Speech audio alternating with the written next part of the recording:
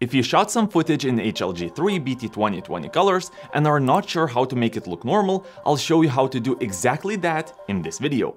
So here's how my original footage looks like.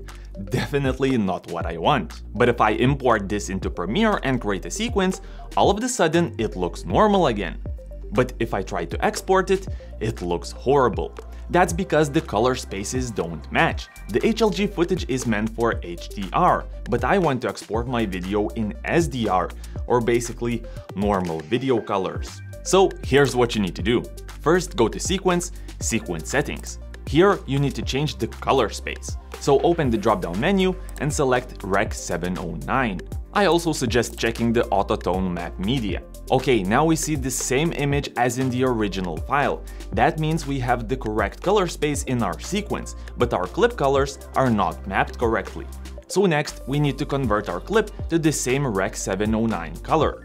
To do that, just select the clip in the media bin, right-click, select Modify and Interpret Footage. Here you'll see a color management tab, and we need to do a couple of things here.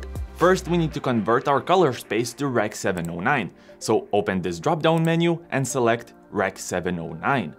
And second, we need a conversion LUT, so the colors are mapped correctly. You could actually skip this step if you just select Rec 709 in your camera when shooting HLG, but if you choose BT2020, you need to convert the colors. What?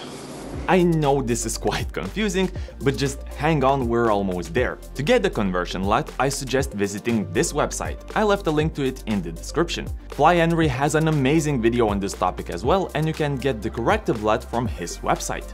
Just type in your name and email and download the zip file.